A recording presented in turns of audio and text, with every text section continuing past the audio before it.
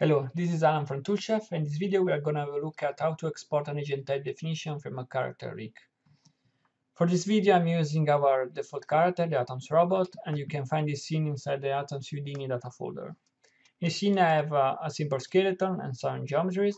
Uh, my skeleton is using this structure, like for every bone as a null as a parent, and all the animation is applied to the to the nulls objects and not on the bones just pay attention because in Houdini you can have character or skeleton uh, composed by just bones. Uh, unfortunately, Atoms doesn't support that, but it only supports skeleton you, that are using this uh, this convention here. Usually, if you if you are importing your skeleton from FBX, the FBX importer always create a structure like that. So just pay attention to your your skeleton. Then I have some geometry here that represent my, my robot. This geometry here with the texture, there are skinned to my skeleton here.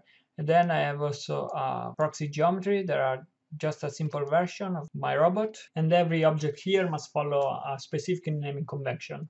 So every object here must start with a joint name followed by an underscore geostring. Because during the simulation, for every object, Atoms extract the joint name from the geometry name and apply a, a parent constraint between them.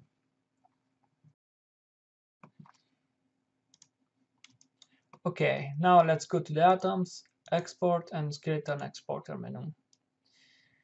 So before uh, we can export uh, the agent uh, definition, we need to add some attributes to some of the joints.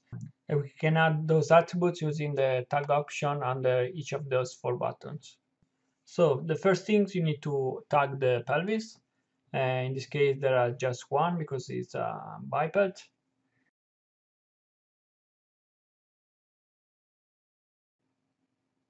And here on the pelvis button, just press and press tag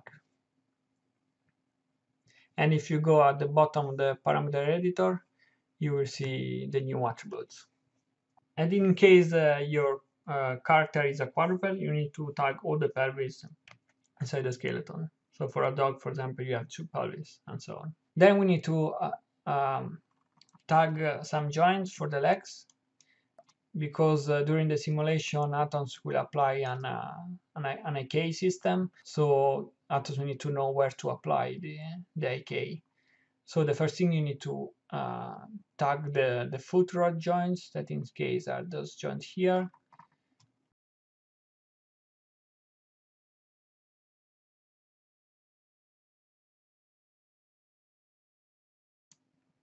So atoms uh, apply the IK on top of the foot root joint? And then we need to attack the foot IK, so basically where the IK handle is applied.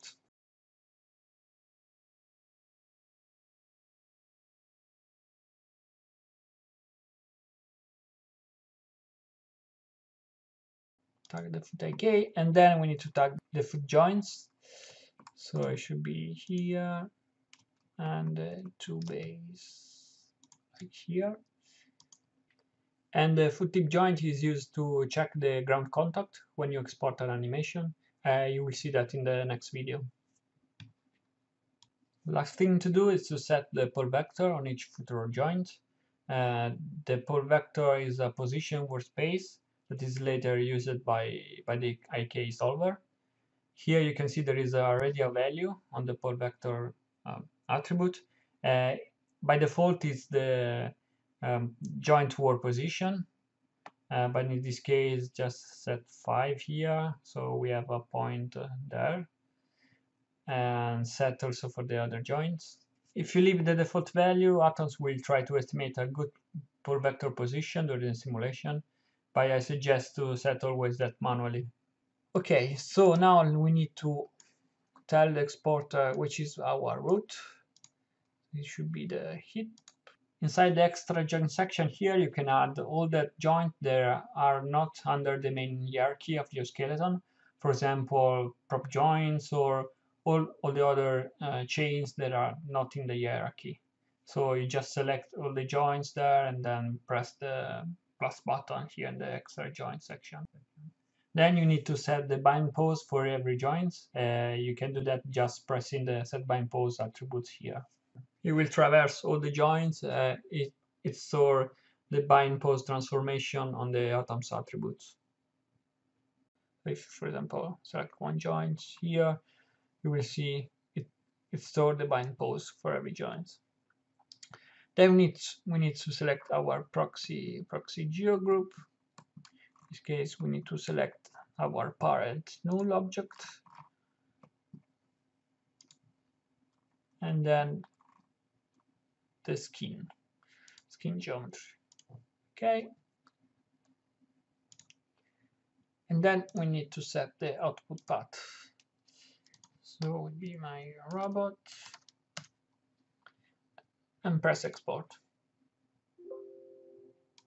So if you go inside the output folder, you will find three files.